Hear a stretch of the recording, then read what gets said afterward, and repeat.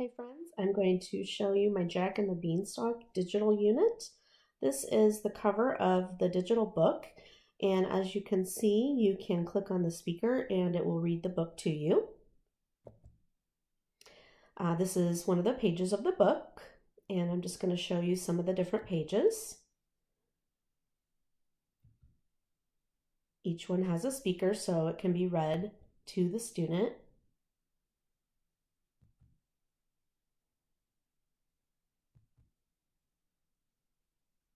It's the traditional story.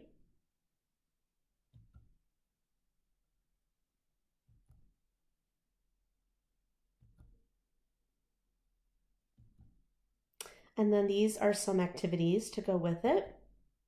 So I've done a cause and effect. Um, the X's um, are the text boxes, and so on the Google Slides, they can type in the boxes. Uh, same thing here, I went ahead and put in some answers there just so you could see what that would look like. So they can click on those and type in their own answers. And these you're going to drag the um, rectangles there, just have them all in a pile in the corner, and then they're just going to drag them to put them in the correct places. And same thing here, they're going to put the pictures in order. And then there is a science part of it, a nonfiction all about beans. So it has some vocabulary cards that go with it, and they have um, some information that they can click on to listen to the different words and what they mean. And I just put a couple of examples in there. And then there's a nonfiction book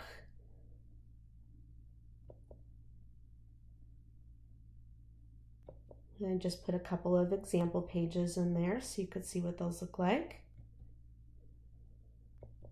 And then there's some comprehension extension activities for that. This one has vocabulary, um, the same words that they covered in the slides. And so they're going to click on those and type the vocabulary words in the boxes. And some comprehension questions to answer. And these is just a sample. I did not include all the slides that are in there. So then they're going to drag the plants to put them in order to cover the numbers. And here they're going to be putting the words to label the plant. There's a web. I just put some examples in there. And then it has beans need, have, and are and they can go back and look at those vocabulary words if they need to. And of course, the text to help them.